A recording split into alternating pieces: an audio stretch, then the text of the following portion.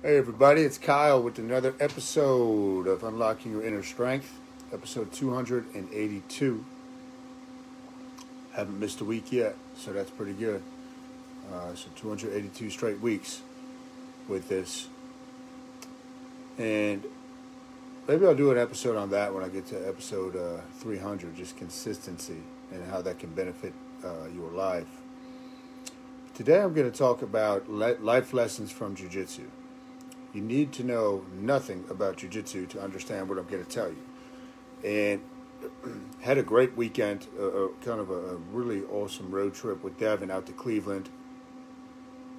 And a great time with my buddy, my buddy Brandon last week. He came in to see us from Chicago for a few days it's always fun when we get together, but we got to go to jiu-jitsu um, on Thursday and roll together. we've always talked about that. You know, he was a college wrestler and whatnot, but it actually aligned. We were able to do that.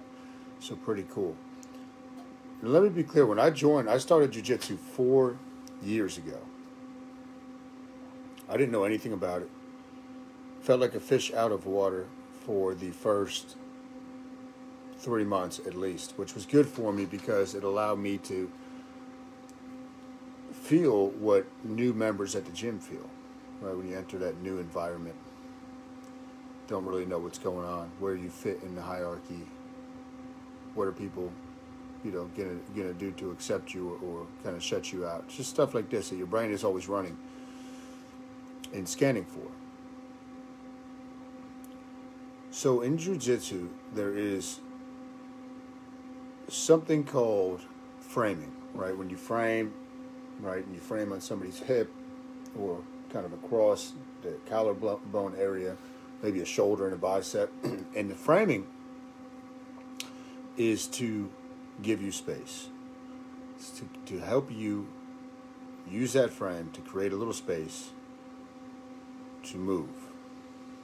So you're typically going to frame when the other person is more in a uh, dominant position or they're on top. You know, for those of you that aren't familiar with jiu-jitsu.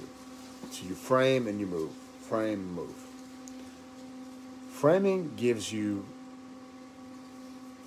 space. Just like in life, you need space when there's a threat. When a lot of stuff is going on in your head and you got a lot, you're not really clear on what's supposed to go on.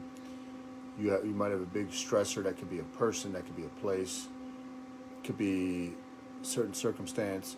You have that going on. First thing you need to do when we teach mind map is to get away from bang.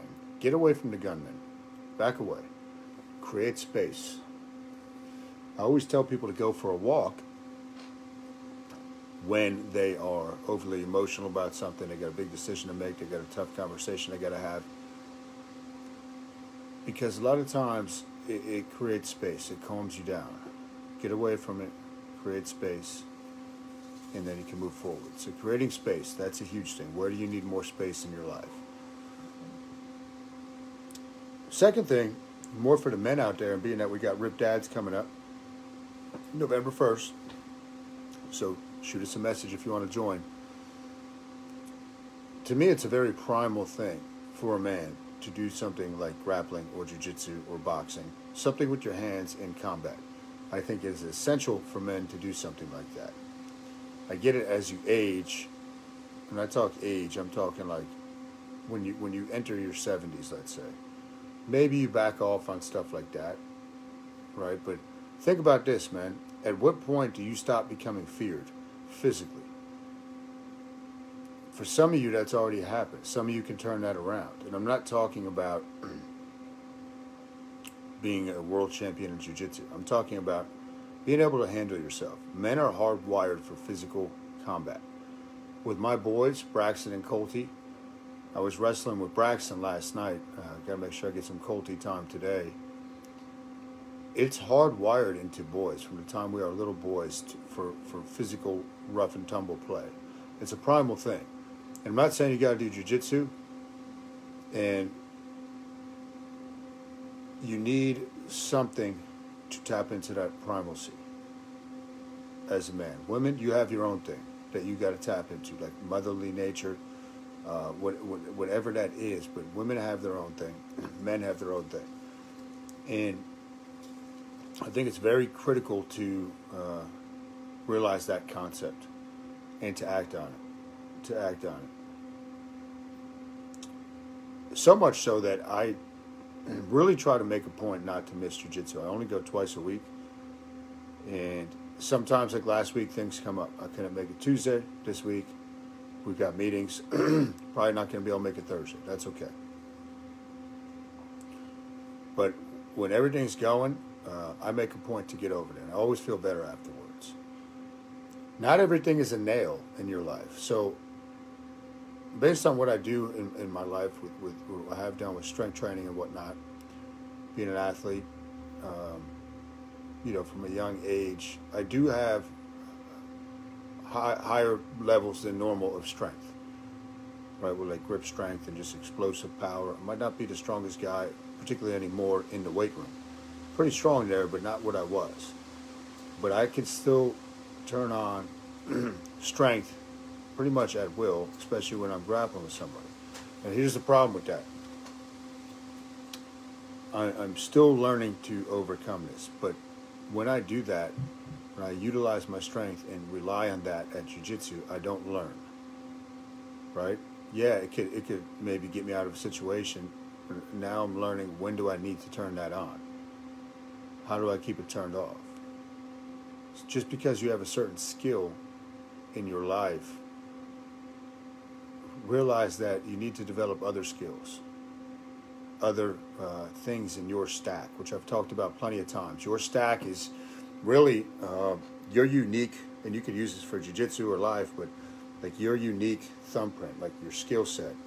So for me, fitness, strength training was probably my foundational, um, you know, layer in my stack. Then on top of that, you could either put mindset or nutrition.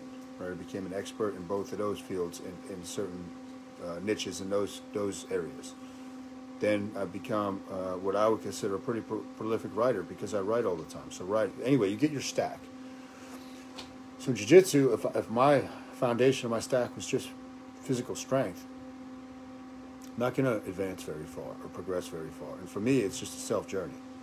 It's uh, no uh, illusions of grandeur of becoming a, like I said, a, a jiu-jitsu celebrity or anything like that. I enjoy the process you know, I, I really like the guys and, and, the women over there, and it's a really good environment. But not everything is a nail. Realize that when you got to develop your skill set or your mindset. Okay. Last one I'll leave you with. Use it all the time. So professor always drops, uh, you know, knowledge. Sometimes more than others. He'll, he'll, he'll say more things than others. But one of the things that really sticks in my head is you only lost if you don't know why you lost. And that can apply, and I use it all the time in life. You're going to make mistakes. You can beat yourself up about it. You, can uh, you can feel foolish. You can feel bad for yourself. But just ask yourself, do I know why I lost? And right away, you're going to change your attitude towards that circumstance. Because if you if you do know why you lost, you didn't lose. It's a learning experience. And if you don't know why you lost, then you got to ask somebody, and it's still a learning experience. So that applies all the time, everywhere to everybody's life, and, and that's a real quick way that you can reframe and and get your mind back on the right track. So those are the lessons. Uh, again, framing, create space in your life. Find something that, that that touches your primal spirit that you need to be involved in. Everybody's different. Men, you got to be involved with some type of physical training or physical combat. Not everything's a nail. Don't just use your, your if you only have one dominant skill set, develop others. You know, develop your unique stack. And always ask, why did I lose? In jiu-jitsu or in life?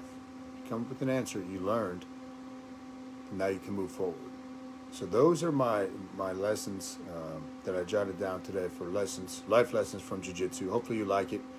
Hit the share button or the thumbs up if you so please. You can go to also now kylenewell.com forward slash manual. Get my free Secrets of Fasting mixtape. It's up there, so put your name. You'll be on the email list, and always appreciate the support. Keep an eye out for all the events we got coming up. I mean, we got stuff for the not this coming weekend, but the following three weekends for the gym, for the estate. So we got a lot of stuff going on. All right, guys, appreciate the support. Have a great day.